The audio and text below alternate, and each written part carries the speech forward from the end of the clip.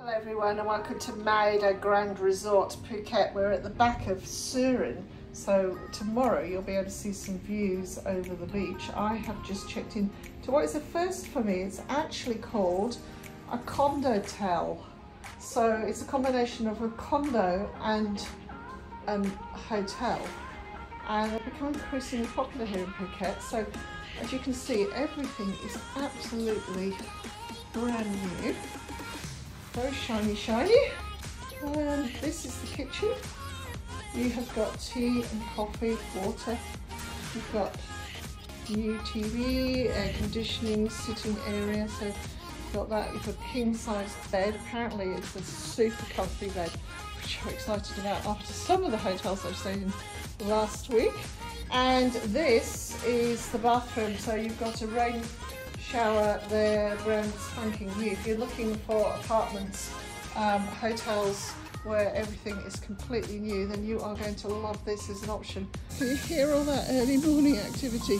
The birds cheeping. And then you've got your pool area here in your apartments here. Lovely.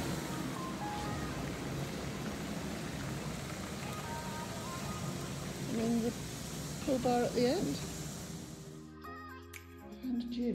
one of a few actually. One thing I like about MIDA Grande is that you are right in the local community here. You'll hear a motorbike going past, people going off to work, and this is this fabulous resort right here in the local area. So up on the rooftop you have two different aspects. That's looking down over to Surin Beach and then if you just swing around here, you have got the Bang Tao Bay, which is glorious. And if you look down here, you can get a really good view of the resort from up high.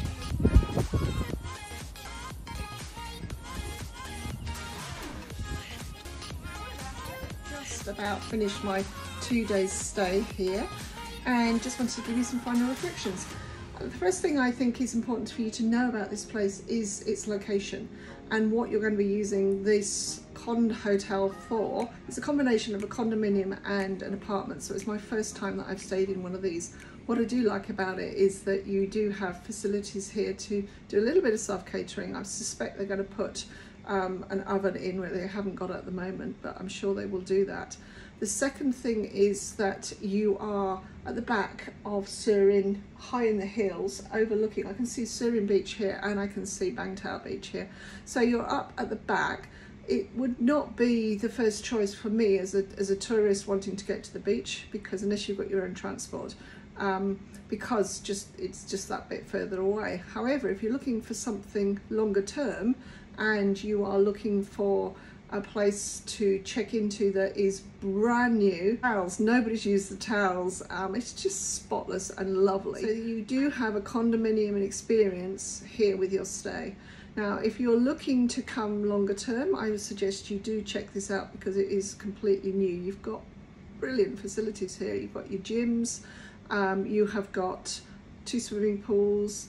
Um, it's on a hillside, so again, if you don't have your own wheels, that's going to be a bit more problematic possibly for you or something you've got to work out. Um, there was a shuttle bus that took me up um, or a cart that took me up when I first checked in, um, but this morning when I came back, that wasn't operating. So I suspect their staffing is building up. So the more and more people that stay here, the more and more um, of those sorts of things you're going to have on offer. So Anyway, check out MIDA Grande Resort, Phuket, and see what you think. If you want something completely brand new, um, this could be the place for you. Bye.